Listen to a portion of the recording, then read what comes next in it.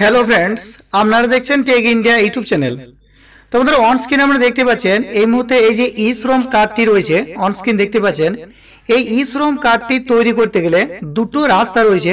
এই দুটো রাস্তার মধ্যে যে কোনো রাস্তা দিয়ে আপনি ই শ্রম কার্ডটি তৈরি করতে পারেন। একটি রাস্তা হচ্ছে আপনার যে আধার কার্ডটি রয়েছে অন স্ক্রিনে আমাদেরকে দেখিয়ে দিচ্ছি।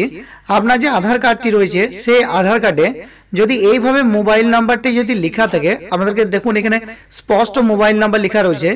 আপনার আধার কার্ডে যদি এইভাবে মোবাইল নাম্বারটি লেখা থাকে, তাহলে ই যে অফিসিয়াল যে ওয়েবসাইটটি রয়েছে, যে পোর্টালটি রয়েছে, সেই পোর্টালে গিয়ে আপনি এখানে মোবাইল নাম্বার এবং ক্যাপচা কোড যেটি রয়েছে, সেটি দিয়ে আপনি ই শ্রম কার্ডটি তৈরি করতে পারেন।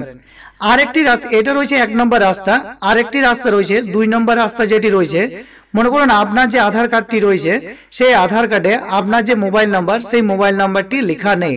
অন স্ক্রিন দেখতে পাচ্ছেন, এখানে দেখুন একটি আধার কার্ড রয়েছে, যে আধার কার্ডে কিন্তু মোবাইল নাম্বারটি লেখা নেই। এক্ষেত্রেও আপনি আপনার যে ই শ্রম কার্ড, সেই কার্ড কিন্তু তৈরি করতে পারবেন। এটা রয়েছে দ্বিতীয় রাস্তা। সেক্ষেত্রে দেখুন, আপনার এই যে অপশনটি রয়েছে, এখানে আপনার হবে না।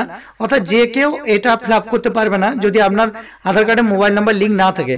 তাহলে দ্বিতীয় যে অপশন, সেটা রয়েছে থ্রো রেজিস্ট্রেশন সিএসসি সেন্টার অর্থাৎ যেখানে আপনার বাড়ির নিকটবর্তী, কোথাও যদি সিএসসি সেন্টার রয়েছে, সেখানে গিয়ে আপনি রেজিস্ট্রেশন করতে পারেন। যদি আপনার আধার কার্ডে যদি মোবাইল নাম্বার যদি লেখা না থাকে, আপনার যদি মোবাইল নাম্বার লেখা না থাকে, তাহলে আপনি দুই নম্বর রাস্তা পছন্দ করে আপনি যে কোনো সিএসসি সেন্টার থেকে আপনি ই শ্রম কার্ডটি তৈরি করতে পারেন। আপনার যদি আপনার যদি আধার কার্ডে মোবাইল নাম্বার লেখা থাকে, তাহলে আপনি নিজে ঘরে বসেই নিজের ফোন থেকে আপনি ই শ্রম কার্ডটি তৈরি করতে পারবেন। এবার যেটা বলার বিষয়, আপনার আধার কার্ডে যদি মোবাইল নাম্বারটি যদি লিঙ্ক না থাকে, সেক্ষেত্রে আপনি আপনার মোবাইল নাম্বারটি আধার কার্ডের সঙ্গে লিঙ্ক কোথায় করবেন? কারণ শুধু ই শ্রম কার্ডই নয় যে কোনো কাজের ক্ষেত্রে পরবর্তীতে আপনার যদি আধার কার্ডের সঙ্গে মোবাইল নাম্বার যদি লিঙ্ক যদি করা থাকে, আপনার পরবর্তীতে যে কোনো কাজ খুব সহজেই হয়ে যাবে। তো বন্ধুরা, এই মুহূর্তে আপনি আধার কার্ডের সঙ্গে মোবাইল নাম্বার লিঙ্ক কোথায় করবেন, সেই বিষয়ে আপনাকে বিস্তারিত জানাব এই ভিডিওতে। অতএব ভিডিওটি শেষ পর্যন্ত দেখবেন। তার আগে আপনাকে যে কাজটি করতে হবে, আপনি যদি চ্যানেলে প্রথম হয়ে থাকেন, তাহলে অবশ্যই চ্যানেলটিকে সাবস্ক্রাইব করে পাশের বেল আইকনে প্রেস করে নোটিফিকেশনটা অল করে দেবেন এবং ভিডিও নিচে একটি লাইক করে ভিডিওটি জনস্বার্থে সকলের মধ্যে শেয়ার করে দেবেন। শেষে আপনি নিচের কমেন্ট বক্সে কমেন্ট করে জানাবেন, আপনার আধার কার্ডের নিচে ঠিক এইভাবে মোবাইল নাম্বার লেখা রয়েছে কিনা, নাকি আপনার আধার কার্ডের সঙ্গে মোবাইল মোবাইল যে নাম্বার আপনার, সেই নাম্বার আপনার লেখা নেই, অবশ্যই নিচের কমেন্ট বক্সে কমেন্ট করে জানাবেন। তো বন্ধুরা, আপনার আধার কার্ডে যদি মোবাইল নাম্বার না লেখা থাকে এবং আপনি যদি চান যে আপনার আধার কার্ডের সঙ্গেও মোবাইল নাম্বারটি আপনি লিঙ্ক করবেন এবং এই যে আধার কার্ড, তার নিচে আপনি লিখবেন।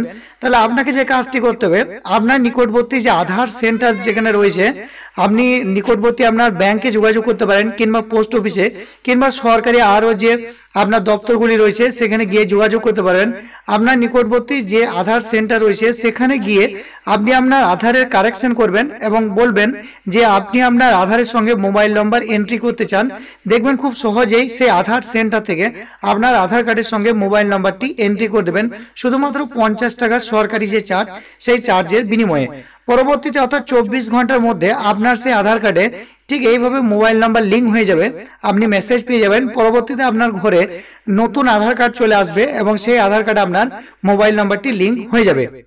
তবে বলে রাখি, চব্বিশ ঘণ্টার মধ্যে আপনার আধার কার্ডের সঙ্গে মোবাইল নাম্বার লিঙ্ক হয়ে যাওয়ার পর আপনি যদি মনে করেন যে আপনি এক নম্বর রাস্তা বেছে নিয়ে আপনি যদি চান যে আপনি ই শ্রম কার্ড তৈরি করবেন, তাহলে চব্বিশ ঘণ্টা পরে আপনি এই যে আপনার অপশনটি রয়েছে, প্রথম যে রাস্তা, সেই রাস্তার মাধ্যমে আপনি নিজে ঘরে বসেই ই শ্রম কার্ডটি আপনি তৈরি করে নিতে পারবেন। তো বন্ধুরা, আশা করি আপনারা বুঝতে পেরেছেন, ভিডিওটি আপনার ভালো লাগবে। তবু যদি এই বিষয়ে আপনার কিছু জানার থেকে বা বলার থেকে, অবশ্যই আপনারা নিচে কমেন্ট করবেন। এবং ভিডিওটি দেখে আপনি যদি কিছুটা হলে উপকৃত হন, তাহলে অবশ্যই ভিডিও নিচে একটি লাইক করে ভিডিওটি জনস্বার্থে সকলের মধ্যে শেয়ার করে দেবেন। এবং এই চ্যানেল থেকে আগামীতে এই ধরনের ইন্টারেস্টিং এবং হেল্পফুল ভিডিও পেতে অবশ্যই চ্যানেলটিকে সাবস্ক্রাইব করে পাশের বেল আইকনে প্রেস করে নোটিফিকেশনটা অল করে দেবেন।